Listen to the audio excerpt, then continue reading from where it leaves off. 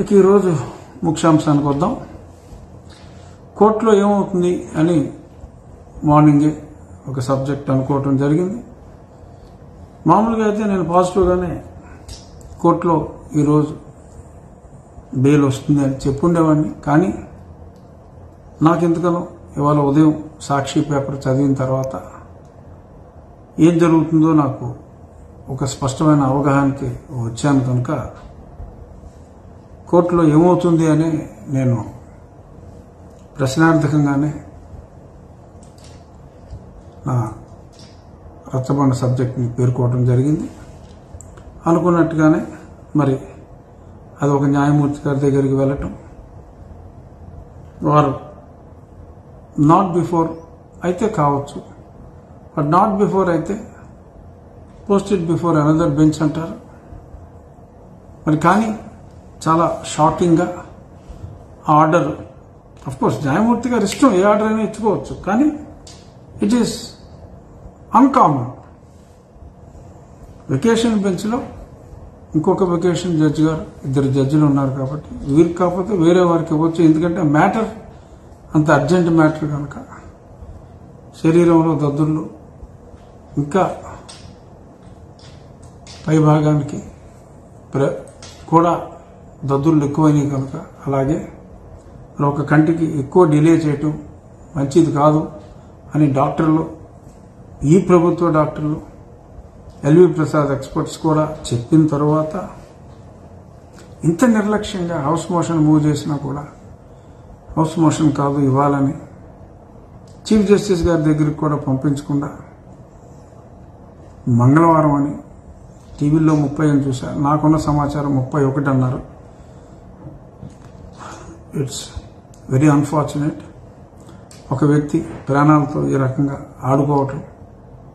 మరి ఇదే సందర్భంలో మరి ఒక ఎంపీ ఇంకొద్దిమంది ఎంపీలను పక్కన పెట్టుకొని చంద్రబాబు నాయుడు అనే ఏకవచనంతో చస్తాడు అని చెప్పి మాట్లాడటం.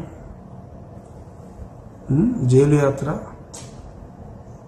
చస్తాడు అని మాట్లాడటం దేన్ని సూచిస్తుంది? వారి అంతరంగాన్ని ఇది తెలియచేయటం కాదా? మరింత దారుణాలు జరుగుతూ ఉన్నా కోర్టులు స్పందించవా? ఇతర న్యాయమూర్తులు ఇద్దరు ఉన్నారు కదా? ఆ ఇతర న్యాయమూర్తులకి వెళ్ళకూడదు అని సాక్షిలో రాస్తారు ఏ? ఎందుకు వెళ్ళకూడదు? వారి సామాజిక వర్గం? ఓకే నీకు ఇష్టం లేని సామాజిక వర్గం కావచ్చు. అయితే మరి వారికి న్యాయమూర్తులుగా ఉండే అర్హత లేదా? అంటే చీఫ్ జస్టిస్ గారే అంటే ఇది పోస్ట్ డౌన్ ట్యూస్డే అన్నది చీఫ్ జస్టిస్ గారు కాదు అని నేను అనుకుంటున్నా. మరి post town some other day అని చెప్పి ఇంత సీరియస్ ఇష్యూలో కూడా మరి ఆ రకంగా మాట్లాడితే దాన్ని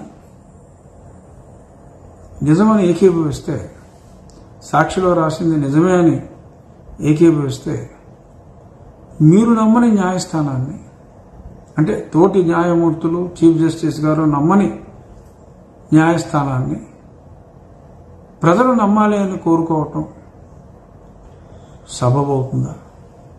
ఆలోచించండి మీరు. ఎందుకంటే ఇప్పటికీ పబ్లిక్కి న్యాయ వ్యవస్థలో గౌరవం ఉంది.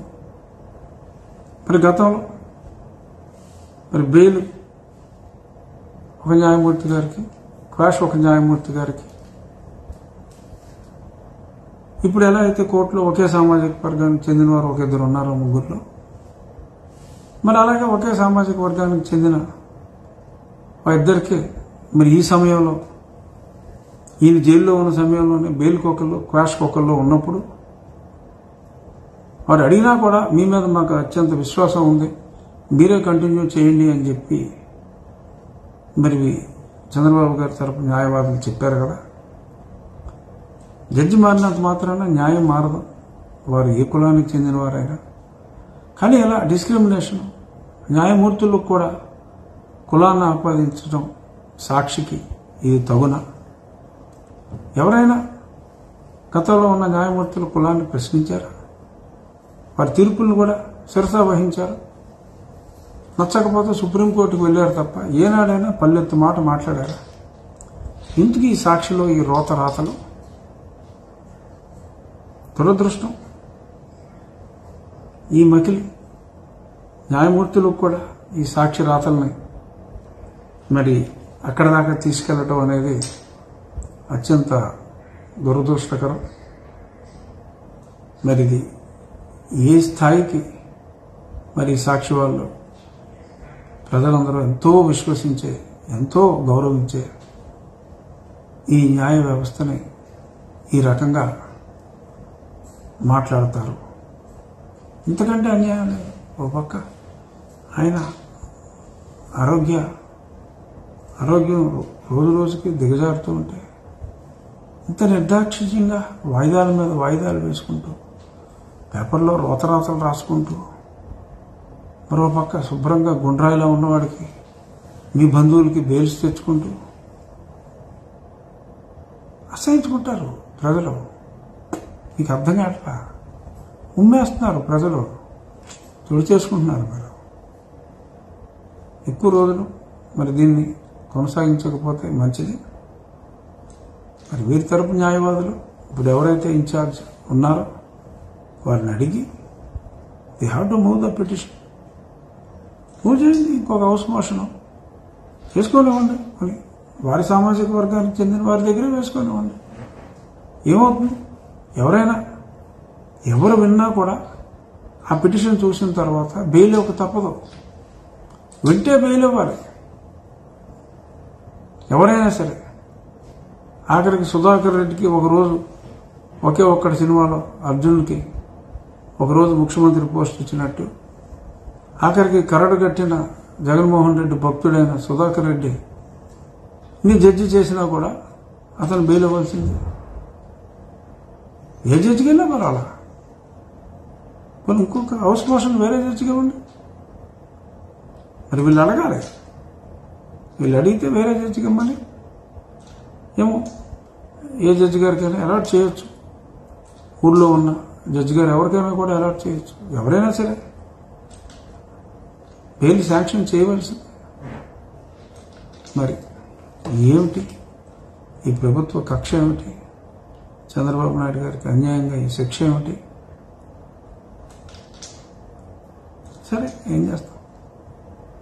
అసలు వాళ్ళ వ్యక్తిత్వాన్ని అర్థం చేసుకోవడానికి ఎంత మలినమైన మనస్కులు అర్థం అవడానికి ఇది ఉపయోగపడింది. సరే చూద్దాం.